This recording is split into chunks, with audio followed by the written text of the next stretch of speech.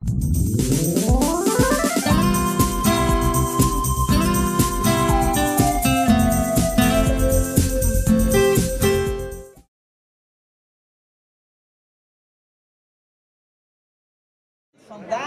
heel officieel met de opening van het watersportseizoen.